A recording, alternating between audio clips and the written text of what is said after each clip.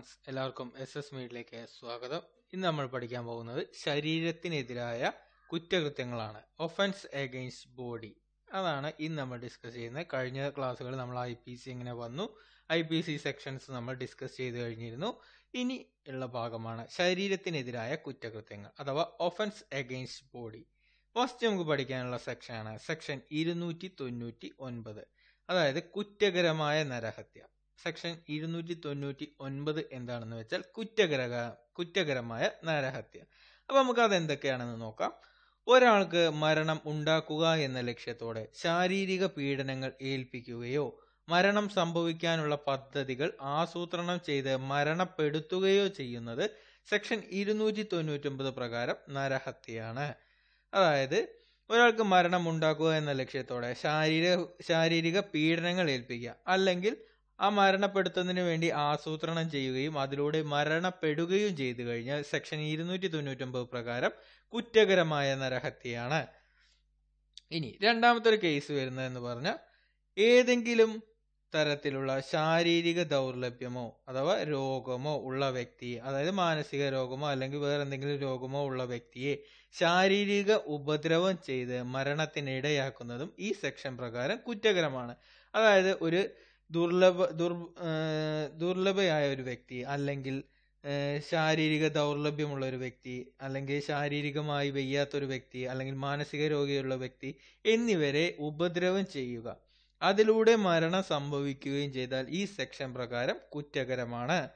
അടുത്തത് പറയുന്നത് വളരെ ഇമ്പോർട്ടന്റ് ആണ്. മാതാവിന്റെ ഗർഭപാത്രത്തിലുള്ള ഒരു ശിശുവിന് മരണം സംഭവിക്കുന്നത് നരഹത്യയല്ല. അതായത് അതൊരു നരഹത്യയായിട്ട് കണക്കാക്കാൻ പറ്റില്ല. അതായത് മാതാവിന്റെ ഗർഭപാത്രത്തിലുള്ള ഒരു ശിശുവിന് മരണം സംഭവിക്കുന്ന ഒരു നരഹത്യയല്ല. എന്നാൽ ആ ശിശു പുറത്തു വന്നതിന് ശേഷമാണെങ്കിൽ അല്ലെങ്കിൽ ആ കുട്ടിയുടെ ഏതെങ്കിലും ഒരു ഭാഗം തലയോ കഴുത്തോ ഏതെങ്കിലും ഒരു ഭാഗം പുറത്തു വന്നതിന് ശേഷമാണ് എങ്കിൽ അത് നരഹത്യയായി കണക്കാക്കാവുന്നതാണ്. അതായത് അത് നരഹത്യയാകും. പക്ഷെ ഗർഭപാത്രത്തിനുള്ളിൽ വെച്ചിട്ടാണ് മരണം സംഭവിക്കുന്നതെങ്കിൽ അതൊരിക്കലും സെക്ഷൻ ഇരുന്നൂറ്റി തൊണ്ണൂറ്റി ഒമ്പത് പ്രകാരം കുറ്റകരമല്ല. എന്നാൽ ആ കുട്ടിയുടെ ഏതെങ്കിലും ശരീരഭാഗങ്ങൾ പുറത്തു വന്നതിന് ശേഷമാണ് എങ്കിൽ അത് കുറ്റകരമാകുന്നതുമാണ്. ഇത്രയാണ് സെക്ഷൻ ഇരുന്നൂറ്റി തൊണ്ണൂറ്റി ഒമ്പത് പറയുന്നത്. ഇനി സെക്ഷൻ മുന്നൂറ് കൊലപാതകം. നമുക്ക് എല്ലാവർക്കും അറിയാവുന്ന ഒരു സെക്ഷനാണ്. സെക്ഷൻ മുന്നൂറ് കൊലപാതകം. പല സിനിമകളിലും നിങ്ങൾ കണ്ടിട്ടുണ്ടായിരിക്കും ഈ ഒരു സെക്ഷൻ.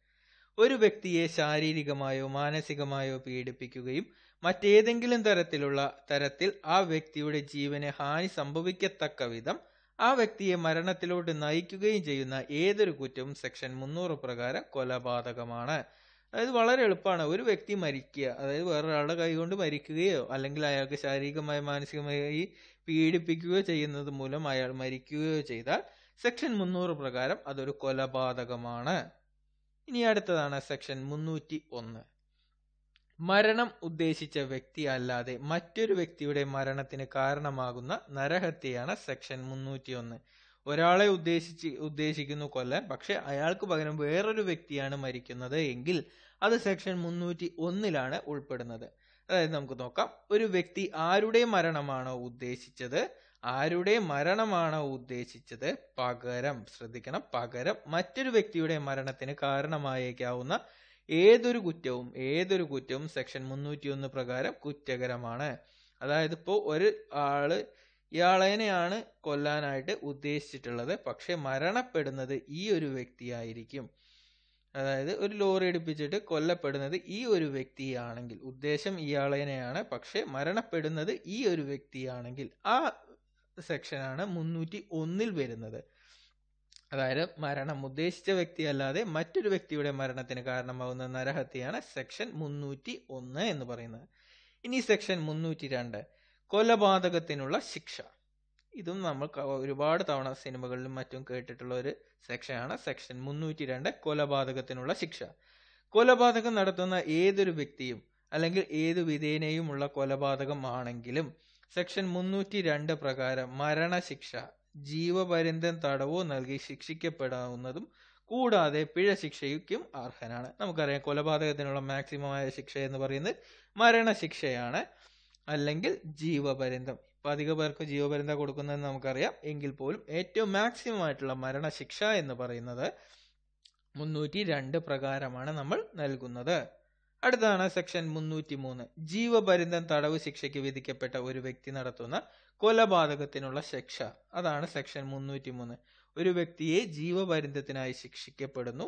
ആ വ്യക്തി വീണ്ടും ഒരു ശിക്ഷ ചെയ്യുകയാണെങ്കിൽ അതായത് വേറൊരു കൊലപാതകം എന്തെങ്കിലും ചെയ്യുകയാണെങ്കിൽ അതിനുള്ള ശിക്ഷയാണ് സെക്ഷൻ മുന്നൂറ്റി മൂന്ന് അതായത് ജീവപര്യന്തം തടവിനുള്ള ശിക്ഷാവിധിക്ക് അധീനനായിരിക്കെ കൊലപാതകം നടത്തുന്ന ഏതൊരു വ്യക്തിക്കും മരണശിക്ഷ നൽകി ശിക്ഷിക്കപ്പെടാവുന്നതാണ്.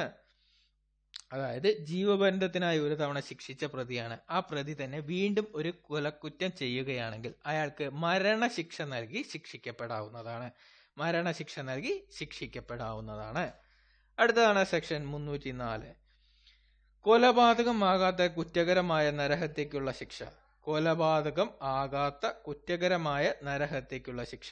അതായത് മരണം സംഭവിക്കുവാൻ ഇടയുള്ള തരത്തിലുള്ള ഏതെങ്കിലും ഹാനി ഉളവാക്കാൻ ശ്രമിക്കുന്ന കൊലപാതകത്തിന് തുല്യമല്ലാത്ത നരഹത്യ ചെയ്യുന്ന വ്യക്തിക്ക് ജീവപര്യന്തം തടവോ അല്ലെങ്കിൽ പത്ത് വർഷ പത്ത് വർഷം തടവും കൂടാതെ പിഴയും ലഭിക്കാവുന്നതാണ്. അതായത് മരണം സംഭവിക്കുവാൻ ഇടയുള്ള തരത്തിലുള്ള ഏതെങ്കിലും ഹാനി ഉളവാക്കാൻ ശ്രമിക്കുന്ന കൊലപാതകത്തിന് ശ്രമിക്കുന്നതിന് കൊലപാതകത്തിന് തുല്യമല്ലാത്ത നരഹത്യ ചെയ്യുന്ന വ്യക്തിക്ക് ജീവപര്യന്തം തടവും പത്ത് വർഷം തടവും കൂടാതെ പിഴയും ലഭിക്കുന്നതാണ്. അതാണ് സെക്ഷൻ മുന്നൂറ്റി നാല് ഇനി സെക്ഷൻ മുന്നൂറ്റി നാല് എ അശ്രദ്ധ മൂലം മരണം സംഭവിക്കുന്നത് അശ്രദ്ധ മൂലം മരണം സംഭവിക്കുന്നത് കുറ്റകരമായ നരഹത്യയല്ലാത്ത ഏതെങ്കിലും അശ്രദ്ധപൂർവമായ പ്രവൃത്തി ചെയ്തതുകൊണ്ട് ഒരു വ്യക്തിയുടെ മരണത്തിന് ഇടയാക്കുന്ന കുറ്റകൃത്യമാണ് സെക്ഷൻ മുന്നൂറ്റി നാല് എ ഇത് പ്രകാരം ലഭിക്കുന്ന ശിക്ഷ എന്ന് പറയുന്നത് രണ്ട് വർഷം തടവ് ശിക്ഷയോ അല്ലെങ്കിൽ പിഴയോ അല്ലെങ്കിൽ ഇവ രണ്ടും ഒരുമിച്ചോ ലഭിക്കാവുന്നതാണ്. ഇനി സെക്ഷൻ മുന്നൂറ്റി നാല് ബി വളരെ ഇമ്പോർട്ടന്റ് ആയിട്ടുള്ള സെക്ഷനാണ് സെക്ഷൻ മുന്നൂറ്റി നാല് ബി നമ്മൾ എസ് എൽ സി എക്സാം എഴുതിയവർക്കും മെയിൻ എക്സാം എഴുതിയവരും ഈ ഒരു സെക്ഷൻ കണ്ടിട്ടുണ്ടാവും. സെക്ഷൻ മുന്നൂറ്റി നാല് ബി സ്ത്രീധന മരണം ഒരു സ്ത്രീ ശാരീരികമായി മുറിവേറ്റോ ശാരീരികമായി മുറിവേറ്റോ പൊള്ളലേറ്റോ സ്വാഭാവിക സാഹചര്യങ്ങളിലല്ലാതെ വിവാഹം കഴിഞ്ഞ് ശ്രദ്ധിക്കണം. ഏഴു വർഷത്തിനുള്ളിൽ മരണപ്പെടുകയും മരണത്തിന് തൊട്ടു മുമ്പ് ഭർത്താവും ഭർത്താവിന്റെ ബന്ധുക്കളോ സ്ത്രീധനവുമായി ബന്ധപ്പെട്ട പീഡനത്തിന് വിധേയമാക്കിയിരുന്നു എന്ന് തെളിയുകയും ചെയ്താൽ അങ്ങനെ സംഭവിക്കുന്ന മരണം സ്ത്രീധന മരണമായി കണക്കാക്കാവുന്നതാണ്. അതായത് ഒരു സ്ത്രീയുടെ വിവാഹം കഴിഞ്ഞ് ഏഴു വർഷത്തിനുള്ളിൽ ആ സ്ത്രീ പൊള്ളലേറ്റോ അല്ലെങ്കിൽ സ്വാഭാവിക സാഹചര്യങ്ങളിൽ അല്ലാതെയോ അല്ലാതെ വിവാഹം കഴിഞ്ഞ് ഏഴ് വർഷം അതായത് സാധാരണ രീതിയിൽ അല്ലാതെ എങ്ങനെയെങ്കിലും മരിക്കുകയോ മുറിവേറ്റോ പൊള്ളലേറ്റോ മരിക്കുകയോ ചെയ്താൽ അത് സ്ത്രീധനം മൂലമാണ് എന്നുണ്ടെങ്കിൽ ഭർത്താവിനും ഭർത്ത വീട്ടുകാർക്കുമെതിരെ കേസെടുക്കാവുന്നതാണ്. അതാണ് സെക്ഷൻ മുന്നൂറ്റി നാല് ബി. നമുക്ക് എല്ലാവർക്കും അറിയാം വിസ്മയ കേസിലൊക്കെ എടുത്തിട്ടുള്ള ഒരു സെക്ഷനാണ് മുന്നൂറ്റി നാല് ബിയും മുന്നൂറും ഒക്കെ കൊലപാതകവും അതുപോലെ തന്നെ സ്ത്രീധന മരണവും. ഇതിന്റെ ശിക്ഷ എന്ന് പറയുന്നത് ഏഴ് വർഷത്തിൽ കുറയാത്ത ജീവപര്യന്തം ഏഴ് വർഷത്തിൽ കുറയാത്ത ജീവപര്യന്തവും അതുപോലെ തന്നെ തട ജീവപര്യന്ത ശിക്ഷയും അതായത് ഏഴ് വർഷത്തിൽ കുറയാത്തതും ജീവപര്യന്തം വരെയാകാവുന്ന തടവ് ശിക്ഷയും ലഭിക്കാവുന്നതാണ്. ഏഴ് വർഷം മുതൽ ജീവപര്യന്തം വരെ ശിക്ഷ ലഭിക്കാവുന്നതാണ്. ജീവപര്യന്തം വരെയുള്ള ശിക്ഷ ലഭിക്കാവുന്നതാണ് ലഭിക്കാവുന്നതാണ്. അതായത് മിനിമം ഏഴ് വർഷം കിട്ടും അതിൽ കൂടുതലും കിട്ടാം. അതാണ് സെക്ഷൻ മുന്നൂറ്റി നാല് ബി. വളരെ ഇമ്പോർട്ടന്റ് ആയിട്ടുള്ള സെക്ഷനാണ്. പഠിച്ചിരിക്കണം. ഇതിൽ രണ്ട് കാര്യങ്ങൾ ഓർക്കണം. ഒന്ന് ഏഴ് വർഷത്തിനുള്ളിൽ മരണപ്പെടുകയാണെങ്കിൽ അതൊരു സ്ത്രീധന മരണമായി കണക്കാക്കും. അതുപോലെ തന്നെ ശിക്ഷ എന്ന് പറയുന്നത് ഏഴ് വർഷവും അതേപോലെ ജീവപര്യന്തവുമാണ്. അടുത്ത സെക്ഷനാണ് സെക്ഷൻ മുന്നൂറ്റി പന്ത്രണ്ട്. ഗർഭം അലസിപ്പിക്കൽ. അതാണ് സെക്ഷൻ മുന്നൂറ്റി പന്ത്രണ്ട്. ഒരു സ്ത്രീയുടെ ഗർഭം ഉത്തമ വിശ്വാസപൂർവം ആ സ്ത്രീയുടെ ജീവൻ രക്ഷിക്കുവാൻ വേണ്ടി അല്ലാതെ ശ്രദ്ധിക്കണം വേണ്ടി അല്ലാതെ സ്വമേധയോ അലസിപ്പിക്കുന്ന ഏതൊരു വ്യക്തിക്കും സെക്ഷൻ മുന്നൂറ്റി പന്ത്രണ്ട് പ്രകാരം കുറ്റകരമായ ശിക്ഷയ്ക്ക് അർഹനാണ്. അതായത് ഗർഭം അലസിപ്പിക്കുന്നതിനുള്ള ശിക്ഷയെ കുറിച്ചിട്ടാണ് സെക്ഷൻ മുന്നൂറ്റി പന്ത്രണ്ട് പറയുന്നത്. സ്വമേധയെ സ്വമേധയോ അല്ലാതെയോ ജീവൻ രക്ഷിക്കാൻ വേണ്ടി അല്ലാതെ അതായത് ജീവൻ രക്ഷിക്കാൻ വേണ്ടി അല്ലാതെ വെറുതെ അങ്ങനെ ഗർഭം അലസിപ്പിക്കുന്നതിനെ കുറിച്ചിട്ടാണ് സെക്ഷൻ മുന്നൂറ്റി പന്ത്രണ്ട് പറയുന്നത്. ഇത് പ്രകാരം നൽകുന്ന ശിക്ഷ ശിക്ഷ എന്ന് പറയുന്നത് സെക്ഷൻ മുന്നൂറ്റി പന്ത്രണ്ട് അനുസരിച്ച് കുറ്റം ചെയ്യുന്ന വ്യക്തിക്ക് മൂന്ന് വർഷം തടവോ മൂന്ന് വർഷം തടവോ പിഴയോ ശിക്ഷയോ അല്ലെങ്കിൽ ഇവ രണ്ടും ഒരുമിച്ച് നൽകി ശിക്ഷിക്കപ്പെടുന്നതാണ്.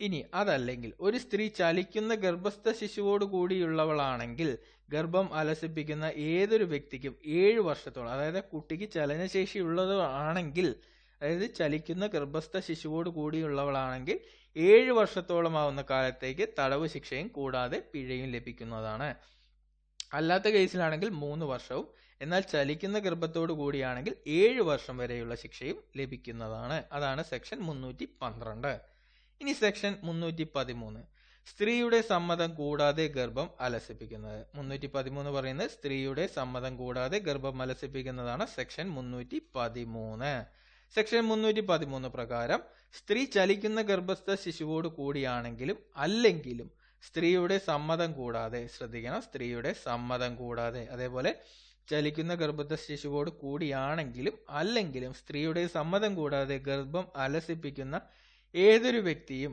അല്ലെങ്കിൽ ഏതൊരു വ്യക്തിക്കും ജീവപര്യന്തം തടവ് ശിക്ഷയോ അല്ലെങ്കിൽ പത്ത് വർഷമാകുന്ന കാലത്തേക്ക് രണ്ടിൽ ഏതെങ്കിലും തരത്തിൽപ്പെട്ട തടവ് ശിക്ഷയോ നൽകി ശിക്ഷിക്കപ്പെടുന്നതും കൂടാതെ പിഴ ശിക്ഷയ്ക്കും അർഹനാകുന്നതാണ്.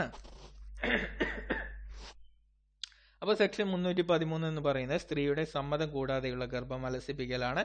അതിനുള്ള ശിക്ഷ എന്ന് പറയുന്നത് ഒന്നെങ്കിൽ ജീവപര്യന്തം അല്ലെങ്കിൽ പത്ത് വർഷമാവുന്ന കാലത്തേക്കുള്ള ശിക്ഷ അല്ലെങ്കിൽ പിഴ ശിക്ഷ ഇതിലേതെങ്കിലും ഒന്നോ അല്ലെങ്കിൽ ഇവ രണ്ടും കൂടിയോ ലഭിക്കുന്നതായിരിക്കും.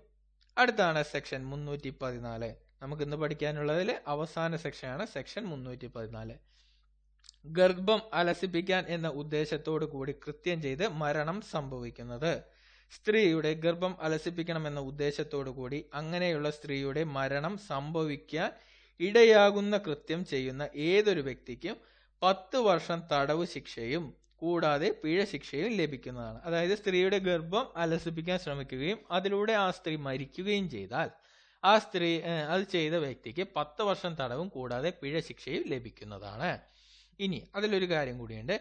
കൃത്യം സ്ത്രീയുടെ സമ്മതം കൂടാതെയാണ് ചെയ്യുന്നതെങ്കിൽ മറ്റേത് കൂടിയിട്ടാണെങ്കിൽ ഇത് കൂടാതെയാണ് ചെയ്യുന്നതെങ്കിൽ ജീവപര്യന്തം തടവ് ശിക്ഷയോ അല്ലെങ്കിൽ മുകളിൽ പറഞ്ഞ ശിക്ഷയോ നൽകി ശിക്ഷിക്കപ്പെടാവുന്നതാണ്. അപ്പോൾ ഇത്രയും കാര്യങ്ങളാണ് ഇന്ന് നമുക്ക് നോക്കാനുള്ളത്. വളരെ കുറച്ച് മാത്രമേ ഉള്ളൂ. ശ്രദ്ധിച്ച് പഠിക്കുക. മുന്നൂറ്റി പതിനാല് വരെയുള്ളത്. അതായത് നമ്മൾ മുന്നൂറിൽ നിന്ന് തുടങ്ങി അല്ല ഇരുന്നൂറ്റി തൊണ്ണൂറ്റി ഒൻപതിൽ നിന്ന് തുടങ്ങി മുന്നൂറ്റി പതിനാല് വരെയുള്ള സെക്ഷൻസ് ആണ് നോക്കിയത്.